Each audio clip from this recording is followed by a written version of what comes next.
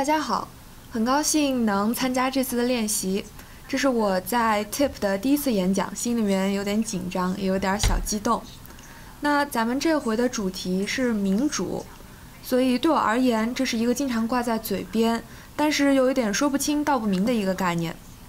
所以我决定上搜集一些资料，找找灵感。那我在浏览网页的时候呢，就发现有一个词频繁的和咱们的话题民主一同出现，那个词就是资本主义。于是我灵光一闪，便有了今天这篇讨论民主与资本主义之间关系的演讲。那首先，我们先来了解一下这两个概念的定义。民主这个词其实源于希腊文，是希腊语中的 “demo”，也就是人民的意思，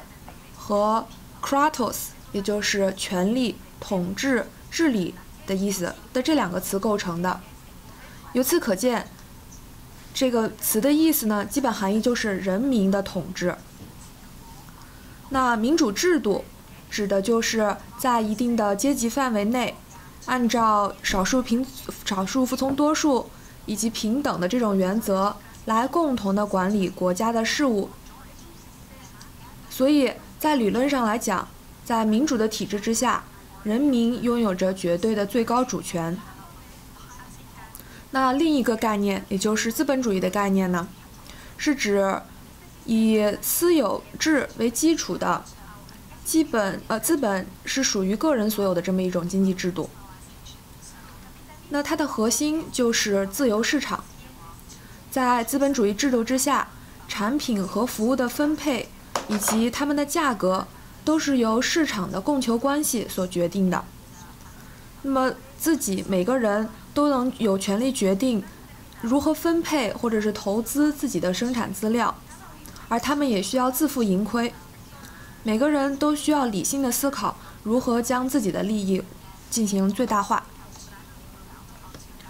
在了解了民主与资本主义这两个含义之后，我们不难看出，这两个观念确实有一些共同点，甚至有一些学者认为两者甚至是相辅相成的。因为民主与资本主义都是假设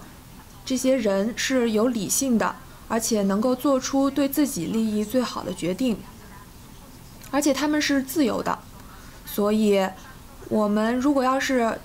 良好的运用了民主和资本主义的话，那就可以提高人类的生活水平，而且还可以让大家人人平等，并且有一个高效运转的社会。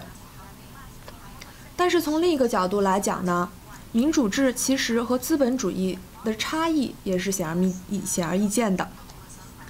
那首先从他们的性质上讲，民主制是一种政治制度。而资本主义是一种经济制度。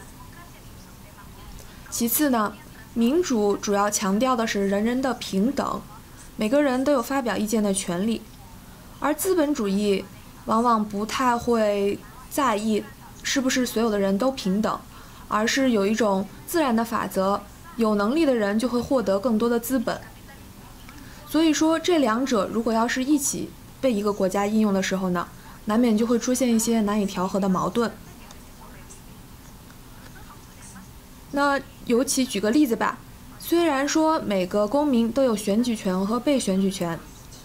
但是在实际的实施过程中呢，由于很多的附加的条件和规定的限制，所以说人民并不是所有人都可以有公平的机会来进行对国家的管理。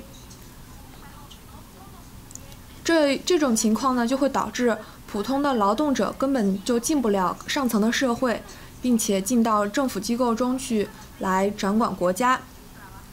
因为要知道，嗯，举个例子，在美国，如果要是你没有个十亿、几十亿的资金，你就基本上不用考虑有可能去参加总统的竞选了。所以说，有的人也会在诟病这种制度，就说。是资本主义制度的这种缺陷，导致了我们的民主并不能被完全的贯彻下去。那以上就是我对民主以及资本主义的一个小的浅析，希望大家能有所启发，如果感兴趣的话呢，也可以多在网上读一读相关的文件，呃，还有材料。嗯，谢谢。